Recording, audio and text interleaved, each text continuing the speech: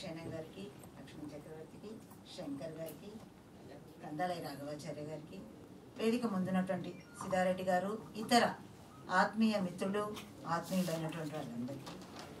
నిజానికి తెలంగాణ రచయితల సంఘం సంఘం జంట నగరాల శాఖ నాకు ఈ అవకాశం ఇవ్వడం నేను చాలా ఒక గొప్పదిగా భావిస్తున్నాను. గొప్పదిగా అంటే నిజానికి తెలంగాణ రచయితల సంఘం నన్ను ఒక వక్తగా పిలుస్తుంది అనడమే నేను చాలా ఒక మంచి అవకాశంగా భావిస్తున్నాను. దానికి కృతజ్ఞతలు చెప్తూ తెలంగాణ కథ నవల. నిజంగా మనం ఎప్పుడు కూడా మొట్టమొదటి కథ గురజాడ దగ్గర మొదలైనటువంటి మన ప్రయాణం అచ్చమాంబది మొట్టమొదటి కథ అని పరిశోధనలో ప్రారంభమైనటువంటి నుంచి బండారు అచ్చమాంబ నుండి నేటి ఈ కాలంలో వచ్చినటువంటి వియుక్క కథా సంపుటి దాకా తెలంగాణ రచయిత్రులు తెలంగాణ రచయితలు ఎన్నెన్ని కథలు రాశారో నిజానికి పేర్ల లిస్టు చదివితేనే మనకు ఒక అరగంట సరిపోతుంది. కానీ పేర్లు చదవడం మన ఉద్దేశం కాదు కాబట్టి నిజానికి పండారాచమాంబ నుంచి వియుక్క కథల దాకా నేను ఒక స్థూలంగా పరిశోధన ఇందాక దర్భశయనం గారు చెప్పినట్టు స్థూలంగా పరిశోధన చేస్తేనే దాంట్లో ఎన్ని వస్తువులు ఎన్ని అంశాలు వచ్చి ఉన్నాయని చెప్ప చెప్పదలుచుకున్నాను. ఆ అంశాలన్నీ కూడా ఎట్లా తెలంగాణ జీవితానికి తెలంగాణ భాషకి తెలంగాణ సాహిత్యానికి అంటే ముఖ్యంగా తెలంగాణ నేపథ్యానికి ఎట్లా సమకాలీనంగా ఉన్నాయో కూడా ఒక కొన్ని ఉదాహరణలు మాత్రం చెప్తాను. ఆ ఉదాహరణలు చెప్పే ముందు నిజానికి తెలంగాణ కథా సాహిత్యాన్ని నవళ్ళ దాకా బహుశా అవకాశం రాకపోవచ్చు. తెలంగాణ కథా సాహిత్యాన్ని ఒక సంస్కరణవాద దృష్టితో అభ్యుదయ విప్లవ ఉద్యమాల దృష్టితో అస్తిత్వ పోరాటాల దృష్టితో విమోచన పోరాటాల దృష్టితో కుల వృత్తులు ముఖ్యంగా వృత్తి పనివారి సంబంధించినటువంటి కథల దృష్టితో చూస్తేనే ఒక ఎనిమిది తొమ్మిది విభాగాలుగా నిర్ణయించవచ్చు విభజించవచ్చు అని నాకు అనిపించింది.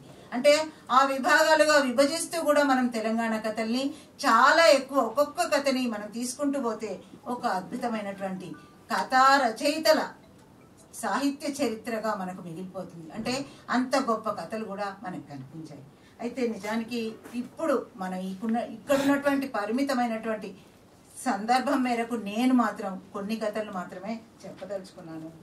మొట్టమొదట నవలల గురించి అంటే నవలలు నేను ఎక్కువగా పరిశోధన చేయలేదు కానీ నవలల్లో తెలంగాణ సమకాలీన జీవితం గురించి మనం మాట్లాడుతూ ఉన్నప్పుడు పి. చంద్ గారు రాసినటువంటి తెలంగాణ ఇందాకే తపశేని శ్రీనివాసాచార్య గారు అన్నారు ఎనభై మూడేళ్ళ కవి నుంచి పదహారేళ్ళ కవి దాకా అని. నిజంగానే మనం కూడా తెలంగాణ గురించి మాట్లాడిన ప్రతి సందర్భంలోనూ మనం పాత పోరాటాలు అంటే తొలి దశ పోరాటం నుంచి మొదలుకొని మలి దశ పోరాటం దాకా ప్రతిసారి మనం మాట్లాడుతూ ఉంటాం. అంటే చరిత్రలో మాట్లాడుతుంటాం వ్యాస రూపంలో మనం చెప్పేటప్పుడు ఉపన్యాసంలో మాట్లాడుతుంటాం. అదే తెలంగాణ నవలలో కూడా వచ్చింది. అయితే ఆ నవలలో నిజంగా పి. చంద్ గారు ఉస్మానియా విద్యార్థుల ఆందోళనలో వాళ్ళ అబ్బాయి గాయపడి అబ్బాయి హాస్పిటల్లో చేరుతాడు. ఆ హాస్పిటల్లో చేరినటువంటి అబ్బాయిని చూడడానికి తల్లి రావాలి.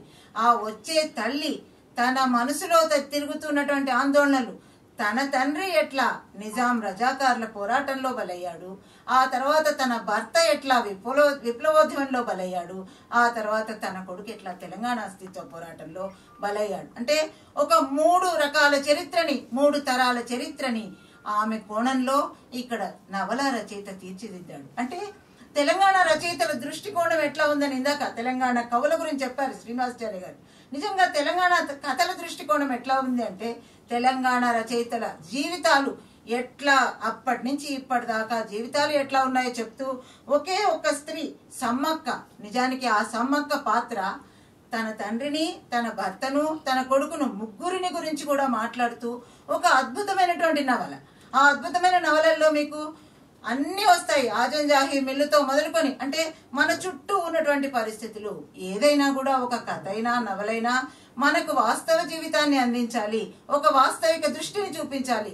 ఆ దృష్టితో పి. చంద్ గారి నవల మనకు మొదటి నుంచి చివరి దాకా కొనసాగుతుంది.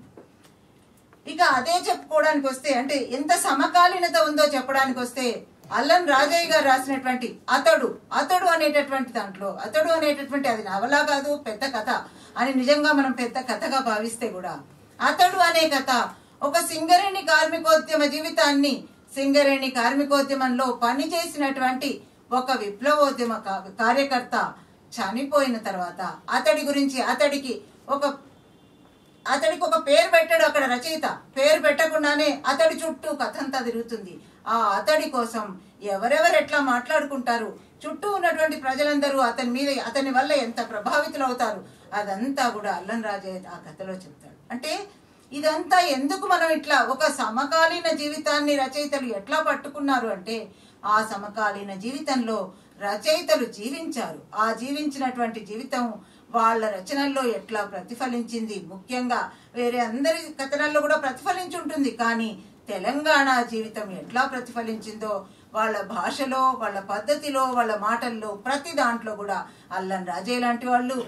ఇప్పుడు నేను చెప్పినటువంటి పి చంద్ లాంటి వాళ్ళు నిజానికి మొదటి తరానికి వస్తే వట్టికోట ఆళ్వారు స్వామి లాంటి వాళ్ళు.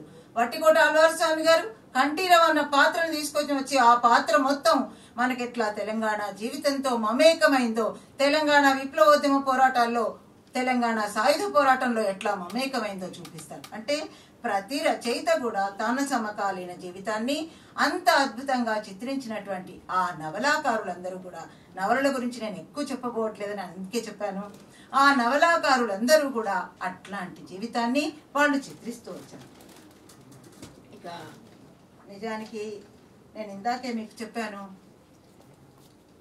స్త్రీవాదం దళితవాదం అస్తిత్వవాదం. అన్ని రకాలైనటువంటి నవలలు ఉన్న అన్ని రకాలైనటువంటి లక్షణాలు ఉన్నటువంటి కథలు ఉన్నాయి మనకు.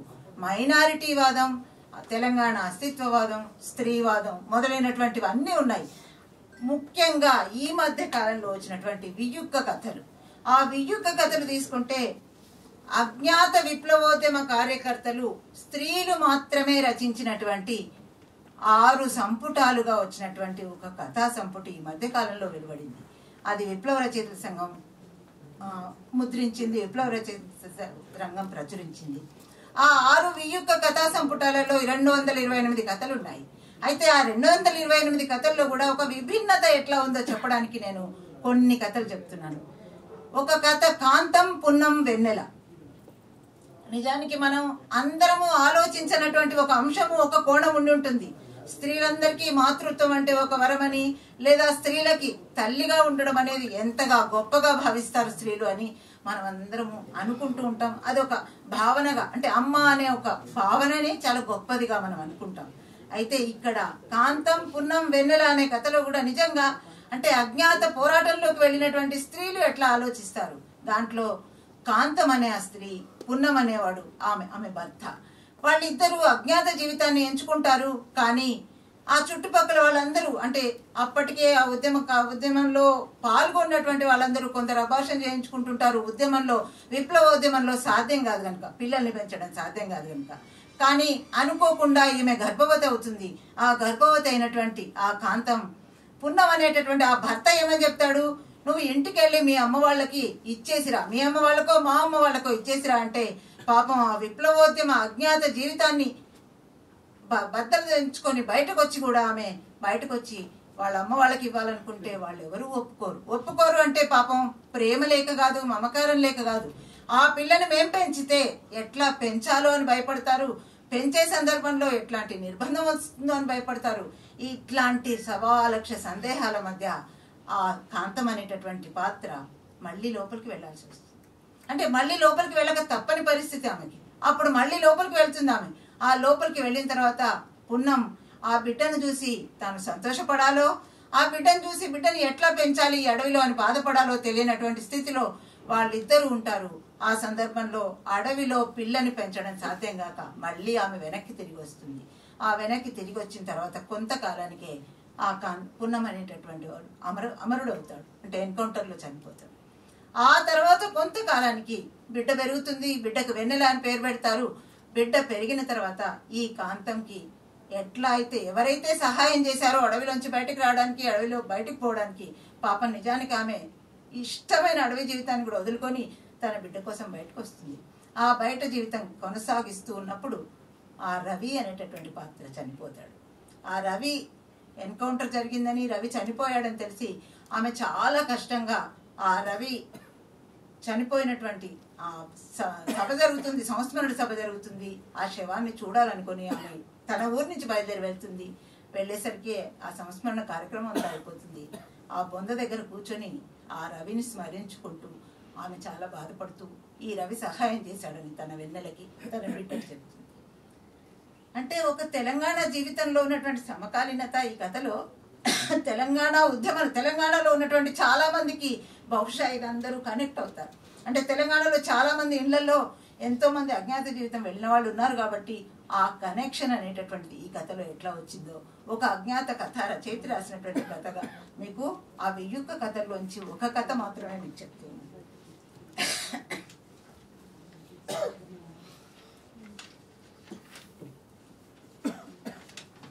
నేను ఎవరినైనా కథ రచయిత పేరో లేదా విషయమో చెప్పకపోతే వాళ్ళేదో రచయితులు కాదని కాదు నాకు దొరికినటువంటి అవకాశంతో నాకున్నటువంటి పుస్తకాల నాకున్నటువంటి అవకాశం ద్వారా మాత్రమే నేను మీకు కొన్ని పుస్తకాలు కొన్ని కథలు చెప్తున్నాను.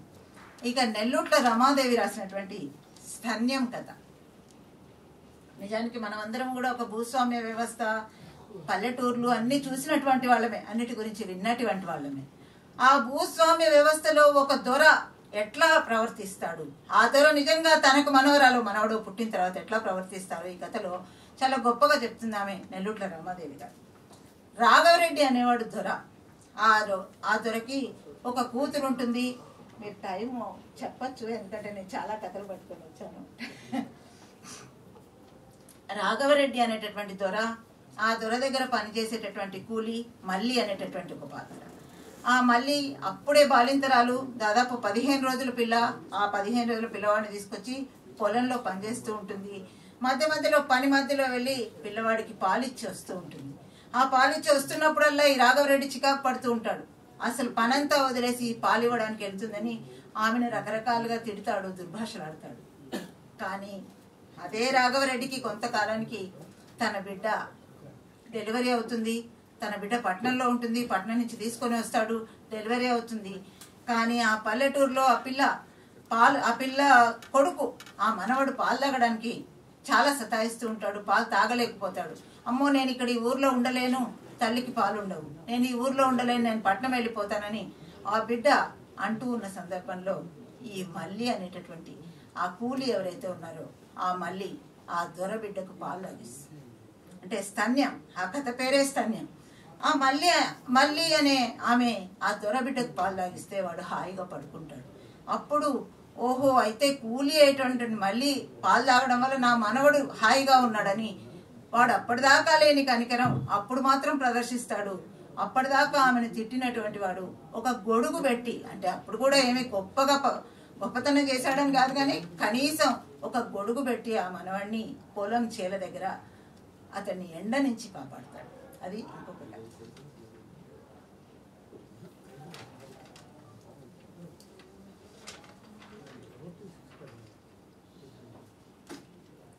ఒక దళిత కథ. పసునూరి రవీందర్ రాసినటువంటి out of coverage area out of coverage area నిజంగా మామూలుగా మనం అందరం ఇప్పుడు సెల్ ఫోన్లు వాడుతూ ఉంటాం. ఫోన్లో చాలాసార్లు అవుట్ ఆఫ్ కవరేజ్ ఏరియా అని వస్తూ ఉంటుంది. అంటే ఆ మాటనే తీసుకుని ఆ రవీందర్ రాసినటువంటి కవిత కథ కూడా భార్యాభర్తలు ఇద్దరు పల్లెటూరి వాళ్ళు పట్నం వస్తారు. భర్త ఒక ఉద్యోగం చేస్తూ ఉంటాడు. దళితుడే ఉద్యోగం చేస్తూ ఒక వాడలో ఉంటారు. ఆ వాడలో వాళ్ళందరూ చాలా కలివిడిగా ఉంటారు. వాళ్ళందరినీ చూసి వీళ్ళు కూడా సంతోషపడతారు. ఆ భార్య అంటుంది అబ్బా నిజంగా ఎంత సంతోషంగా ఉంది. మన ఊర్లోనైతే మాలవాళ్ళు మాదిగ వాళ్ళు దళితులు అని మనల్ని దూరం పెట్టేవాళ్ళు. ఇక్కడైతే మనకి ఏ కులాల సందర్భము లేదు. ఎంత హాయిగా ఉంది అని రోజు భర్తతో ఆమె సంతోషపడుతుంది. ఆమె చుట్టుపక్కల వాళ్ళంతా కూడా ఆమెకి స్నేహితులు అవుతారు వాళ్ళందరూ కలిసి షాపింగ్లు చేస్తుంటారు. ఇదంతా ఒక నగర జీవితంలో జరుగుతూ ఉంటుంది. ఈ జరుగుతూ ఉన్నటువంటి క్రమంలో ఆమె అత్త వస్తుంది పల్లెటూరు నుంచి. పల్లెటూరు నుంచి అత్త వస్తుంది అత్త కూడా సంతోషపడుతుంది ఓహో ఈ పట్టణం జీవితం ఏదో కొంచెం బాగుంది అనుకొని ఆ సంతోషంలో చుట్టుపక్కల వాళ్ళ ఇళ్ళకి వెళ్తుంది. వెళ్తున్నటువంటి క్రమంలో సంభాషణలో అంటే అప్పటిదాకా బహుశా కులం ప్రస్తావన వచ్చి ఉండదు వాళ్ళ మధ్యలో కానీ సంభాషణలో వీళ్ళ కులం ఏమిటో తెలుస్తుంది. ఆ చుట్టుపక్కల చాలా దగ్గర స్నేహితులైనటువంటి వాళ్ళకి తెలవగానే అప్పటి నుంచి వాళ్ళు ముఖం చాటిస్తారు. అప్పటి నుంచి వాళ్ళు మాట్లాడరు.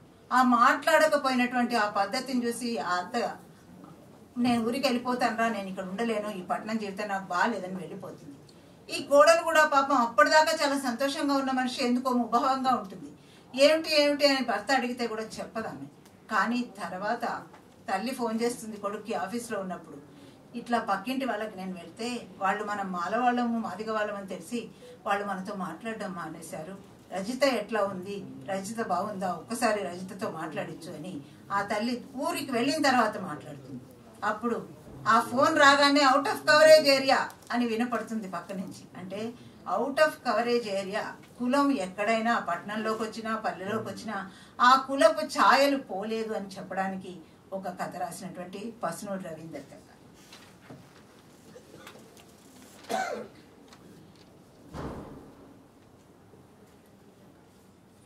చెప్తాను నెల్లూరి కేశవ స్వామి గారి యుగాంతం కథ నిజానికి మనం మళ్ళీ ఎక్కడో నిజాం రజాకార్ల పోరాటం దగ్గరికి వెళితే అప్పుడు ఎట్లా హిందూ ముస్లింల మధ్య సఖ్యత ఉండేది?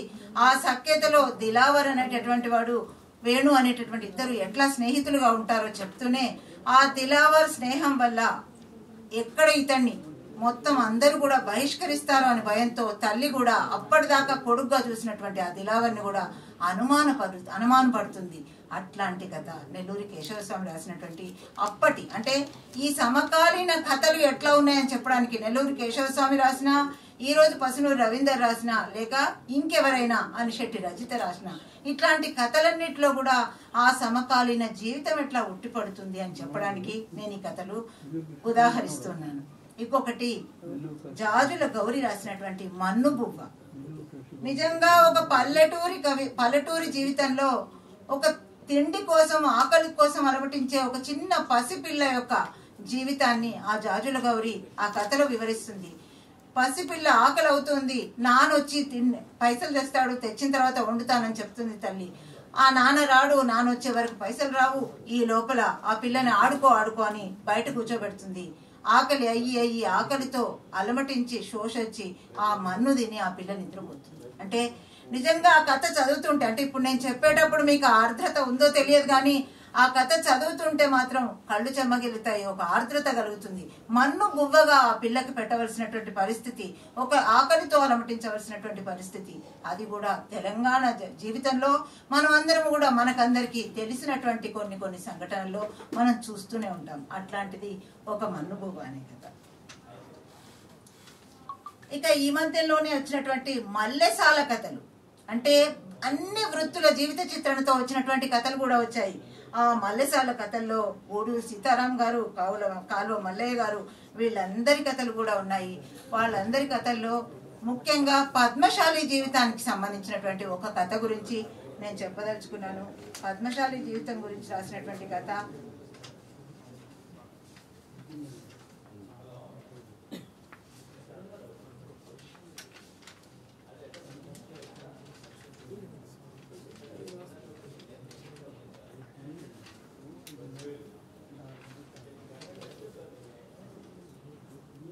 తెగిన పోగు. కొక్కుల భాస్కర్ అనేవాడు రాసినటువంటి క- కథ. తెగిన పోగు. మంచి కరీంనగర్ భాషలో అద్భుతమైనటువంటి కథ అది. ఆ కథలో నిజానికి మామూలుగా దేశం పోవడం అనేది ఎక్కువగా మనం వింటూ ఉంటాం. దేశం పోవడం అంటే ఆ దేశం పోవడం ఏంటో అర్థం కాదు ఆ కథలో ఉన్నటువంటి ఆ యువకుడికి. కానీ చిన్న బాల బాలుడిగా ఉన్నప్పుడు ఆ తర్వాత అతడే దేశం పోవాల్సి వస్తుంది. దేశం పోవడం అంటే ఏమిటి? భివాండి బొంబాయి షోలాపూర్. అంటే చేనేత కార్మికులు ఎక్కువగా వెళ్ళి వాళ్ళ బతుకు తెరువు కోసం పడ్డటువంటి ఒక తపన. ఆ బతుకు తెరువు కోసం పడ్డటువంటి తపనలో ఇక్కడ ఈ యువకుడు ఈ బాలుడు కూడా తను కూడా దేశం పోవాల్సి వస్తుంది. ఆ దేశం పోవాల్సిన సందర్భంలో అప్పటిదాకా దేశం అంటే ఏదో చాలా గొప్ప అనుకుంటాడు. కానీ అక్కడికి పోయిన తర్వాత తను నలభై ఏళ్ళ వయసుకే వృద్ధుడిగా మారిపోయి తెగిన పోగు అంటే ఆ రాట్నంలో ఉన్నటువంటి ఆ దారం తెగినటువంటి విషయం కూడా ఆయన కళ్ళకి కనపడకుండా కన్ను మసకలు వచ్చేస్తాయి అతని ఆరోగ్యం అంతా క్షీణించిపోతుంది. అట్లాంటి ఒక ఆర్ద్రమైనటువంటి కథను కూడా మనకు మల్లెసాల కథల్లో. ఈ మల్లెసాల కథల్లో నిజానికి కంసాలి కథ చేనేత కథ అన్ని వృత్తుల గురించినటువంటి కథలు చాలా చాలా ఎక్కువగా కనిపిస్తాయి. అవన్నీ కూడా మనం ఈ కథా కోణంలో ఖచ్చితంగా మనం చూడవచ్చు. ఇంకా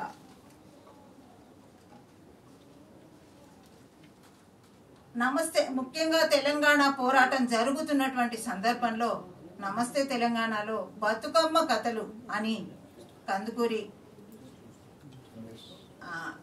కందుకూరి రమేష్ బాబు ఆ బతుకమ్మ కథలని ఒక సంపుటి సంపుట్లాగా కూడా కాదు ప్రతి ఆదివారం ఒక కథ వచ్చేది. ఆ బతుకమ్మ కథల్లోంచి కొన్ని కథల గురించి ఒక్కసారి ఉదాహరిస్తాను. స్వాతి శ్రీపాద్ రాసినటువంటి బతుకమ్మ. బతుకమ్మ పండుగ తెలంగాణలో చాలా అందరికీ చాలా ముఖ్యమైనటువంటి పండుగ. ఆ బతుకమ్మ రోజు ఆమె ఆత్మహత్య చేసుకునేటటువంటి ఒక పరిస్థితిని ఆ కథ మొత్తం చిత్రిస్తుంది. అంటే ఈ బతుకమ్మ కథలో కూడా నిజానికి ఇందాక నేను చెప్పినట్టు పీచెంది నవలలో వచ్చినటువంటి దాదాపుగా అట్లాంటి వాతావరణమే.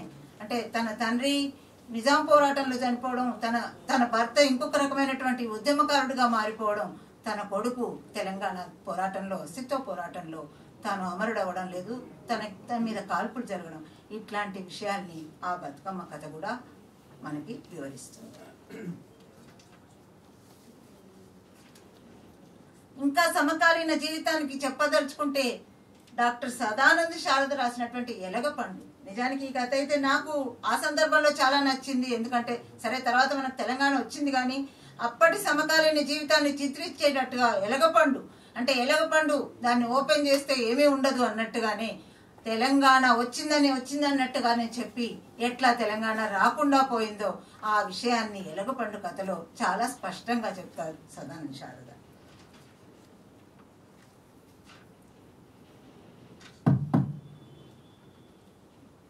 ఒక్కటే అయిపోయింది.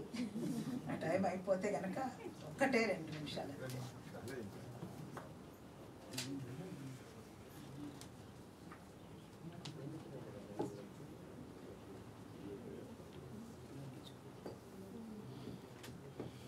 నిజానికి పొట్లపల్లి రామారావు గారి సమాధి కథ కూడా చెప్పాలనుకున్నాను. పొట్లపల్లి రామారావు గారి సమాధి కథ సమాధికి ఒక ఒక స్త్రీ తన చేతిలో నెత్తుటి గుడ్డు చనిపోయి ఉంటాడు. చనిపోయినటువంటి ఆ బాబుని తీసుకుని ఆమె సమాధి స్థలానికి వెళుతూ ఉంటుంది. సమాధి స్థలంలో అక్కడ ఉన్నటువంటి కాటి కాపరి లోపలికి తీసుకెళ్తే లోపల అందరి సమాధులు ఉంటాయి. చాలా గొప్పవాళ్ళ సమాధులు డబ్బులున్న వాళ్ళవి ధనవంతుల సమాధులు ఉంటాయి. ఆ సమాధులన్నీ దాటుకొని ఎక్కడ పెడదాం ఆ బాబుని అంటే ఎక్కడ అతనికి స్థలం కనపడదు. స్థలం కనపడకుండా పోయి లోపలికి వెళ్తే ఇంకా గొప్ప గొప్ప వాళ్ళు వాళ్ళ చుట్టూ కంచెలు వేసి ఉంటాయి. అంటే ఒక బీదవాడికి ఎక్కడా స్థలం లేదు సమాధిలో కూడా స్థలం లేదని చివరికి ఆ సమాధి శ్మశాన వాటిక నుంచి బయటకు వచ్చి అట్లా నడుస్తూ నడుస్తూ ఆమె ఎక్కడో ఒక దగ్గర నిర్జన అరణ్యంలో ఆ పిల్లవాడిని సమాధి చేస్తుంది. అంటే ఒక సమాధి చేయడానికి ఒక పేదవాడికి అవకాశం లేనటువంటి ఒక పరిస్థితిని కూడా చాలా గొప్పగా కొట్లపల్లి రామారావు గారు ఆ కథలో చెప్తారు. ఒకటే నిమిషం చెప్పి ముగిస్తాను సారీ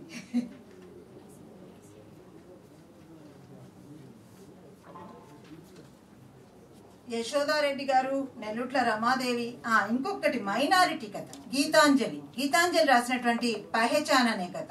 ముఖ్యంగా ముస్లిం స్త్రీలు ఎట్లా తాము బచ్చేదాని ఆమె కథల పుస్తకం పేరే బచ్చేదాని. అంటే ముస్లిం స్త్రీలు ఎట్లా తమ గర్భం కోసం ఆ గర్భను విచ్ఛిత్తి చేసుకోవడానికి అవకాశం అభాషం లేనటువంటి అవకాశాన్ని ఎంత కష్టంగా వాళ్ళు ఫేస్ చేస్తారో దాని గురించి ఆమె చాలా గొప్పగా ఆమె గర్భ గచ్చే బచ్చేదాని అనేటటువంటి కథా సంపుటిలో వివరిస్తుంది.